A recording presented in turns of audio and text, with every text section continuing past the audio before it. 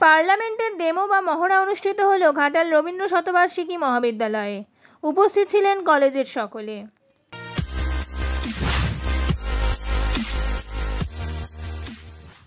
নমস্কার, আপনারা দেখছেন ঘাটাল নিউজ। আমি আপনাদের সঙ্গে কুসুমিতা রায়। ভারতবর্ষের যুক্তরাষ্ট্রীয় সাংবিধানিক কাঠামোতে পার্লামেন্ট তথা লোকসভার ভূমিকা অপরিসীম।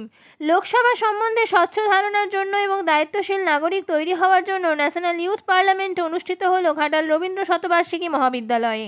কলেজের ছাত্রছাত্রীরা অংশ নিয়েছিলেন এই মহড়ায়। কলেজের অধ্যক্ষ মন্টু কুমার দাস সহ অন্যান্য অধ্যাপকরা উপস্থিত ছিলেন এদিনের অনুষ্ঠানে। পার্লামেন্টের ডেমো পার্লামেন্টের মতোই তর্ক বিতর্কতে আকর্ষণীয় হয়ে উঠেছিল।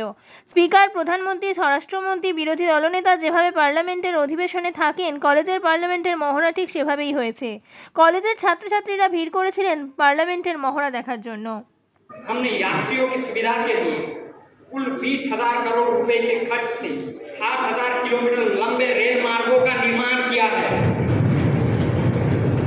महोदय मैं देश की जनता को बताना चाहता हूं कि हमने लद्दाख मिजोरम व अरुणाचल प्रदेश और सिक्किम में कुल 28 हवाई पट्टियों का निर्माण किया है।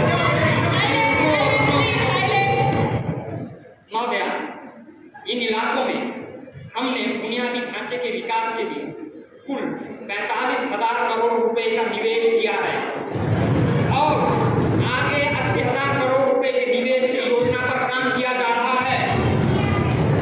महोदय, सीमा से सटे इलाकों में विकास से न केवल जनता को मदद मिली है बल्कि इससे सेना को भी मदद मिलेगी महोदय पिछले सरकार का रवैया सीमा से सटे इलाकों के विकास के प्रति जिस प्रकार का था वे बेहद ही खेदजनक है न केवल उन्होंने काम में लापरवाही बरती I repeat, 74.04%. That much financial literacy is not present in our country.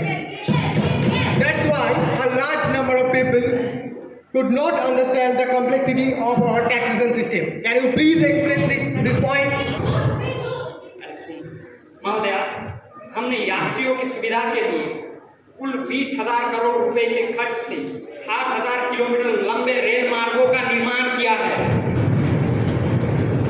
महोदय मैं देश की जनता को बताना चाहता हूँ कि हमने मिजोरम ঘাটাল মহকুমার আপডেট পেতে ঘাটাল নিউজ ইউটিউব চ্যানেলটি সাবস্ক্রাইব করুন এবং ঘাটাল নিউজ ফেসবুক পেজটি লাইক ও ফলো করুন